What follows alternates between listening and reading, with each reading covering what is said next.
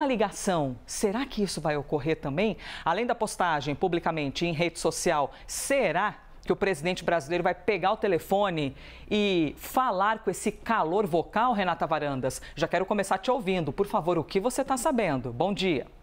Oi, Elisa. Bom dia para você, bom dia para todos. Olha, Elisa, conforme a gente conversou aqui ontem, né, no live, a gente dizia que assim que tivesse um resultado aí das eleições, que o presidente Lula iria sim se manifestar, iria parabenizar quem quer que ganhasse a, a eleição, fosse Câmara, fosse Trump.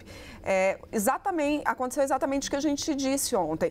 É, mal saiu o resultado, o presidente já veio, já se manifestou, soltou uma nota e agora eu estou vendo o tanto que eu estou antiga falando nota, né? Porque hoje em dia não existe mais nota, todo mundo solta é, né, as suas impressões, solta suas notas pelas redes sociais, mas o presidente já se manifestou, é, soltando aí os parabéns, dando os parabéns a, a Donald Trump.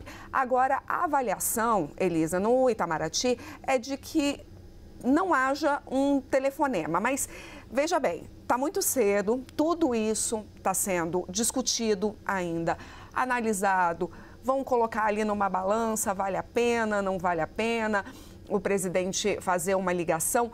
Já conversei com gente que diz: ah, vale, vale a pena ele fazer essa ligação, é um gesto, é um chefe de Estado para outro chefe de Estado, tem que ser feito. Outra ala diz: ah, não vale a pena, porque a gente sabe, o Trump ele é muito midiático, né? Ele gosta muito dessa coisa das redes sociais.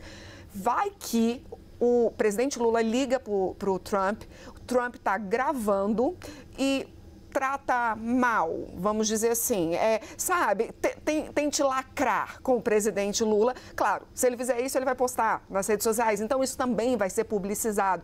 Então, existe esse medo e é muito mais um medo por parte do, de como Donald Trump vai agir do que como o presidente Lula iria agir, do que qualquer outra coisa. Então, eles estão avaliando, vendo se vale a pena, se não vale a pena é, essa ligação, mas enfim, o que a gente falou ontem é exatamente o que aconteceu. Elisa, saiu o resultado, é, presidente se manifestou e foi o que você falou. Ali, a nota fala muito, muito claramente. Fala é, é, em democracia. É, independentemente do resultado. a democracia, né? Democracia, exato. E isso tem um valor muito grande, né? Nessa nota, que com toda certeza foi palavra a palavra pensada. Renata Varandas já tinha adiantado para a gente hoje aqui Hoje não, ontem, ontem, aqui no Live CNN, que de fato a resposta seria muito rápida, esse posicionamento do presidente brasileiro em relação à vitória, qualquer que seja. Assim foi, assim o fez Renata Barandas. Já já a gente volta para analisar mais essa posição do governo brasileiro.